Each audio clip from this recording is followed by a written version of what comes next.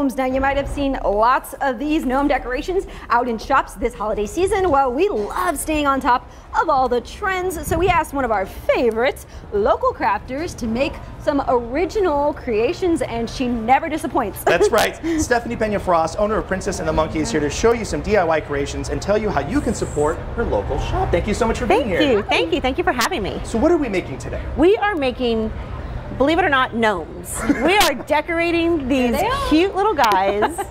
um, I I wanted to make it easy. Instead of showing y'all how to build it from scratch, which is very labor intensive, I decided I'm going to show you how to jazz up a gnome that maybe you already have that you've already bought. Good idea. And make him pers- personalize him. Yes. I just love that gnomes are they're they're the hot thing, right? Yes. People love gnomes. Yes. So I make They're them all year round.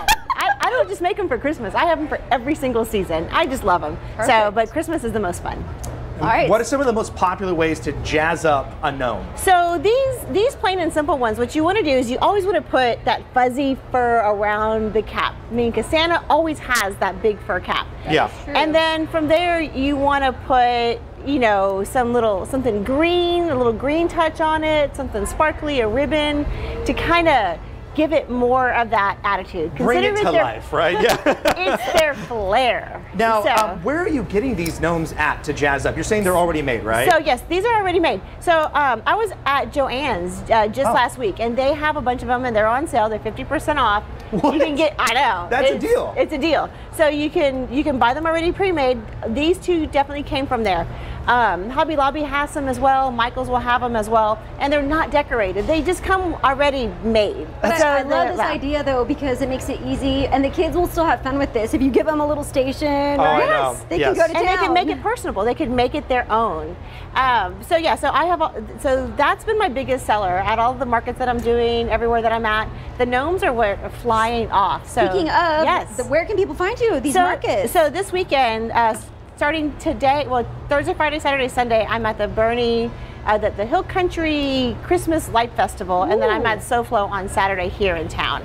So I'm at a couple of You're different all places. I'm all, I am all over. Oh. Um, I've had a lot of custom orders for ornaments and for paintings and different kind of fun stuff like that. So Now, it, when you're making this at home, I know, we're using a hot glue gun, Yes. right? Is that the only tool that you really need? That's the only tool you need. Well, scissors, of Okay, course, wire cutters, but a hot glue gun will definitely do it. So you are good to go there. Now, is there is there a right way of decorating a gnome, or is it just kind of go for it? Go for it. Okay. There's, there's don't know, there's never a right way. Yeah, yeah, yeah. it's I like all- these two because I mean we're having fun. I know, these were cute. But these are that? perfect. I know. Oh, I didn't finish that one, but for the tree, I didn't save them. Yes. Put them out every year. You Yes. can even wear it on your ears. Oh my gosh, earrings. I dropped okay. my I dropped my gnome. Another trend. There you I go. like I what you were saying earlier, David. Yes, I was like, you know, elf on a shelf. It's not my bag, but maybe a gnome in your home. There you go. There you go. There you go. I like that. You can have that. dueling gnomes. Yes, and, then you can have elfin gnomes and elves can battle. It's like your own version of Lord of the Rings for the holidays, right there in your own home. All right, thank You you, so much. Yes, yeah, yeah. And then now these right here are like Yes.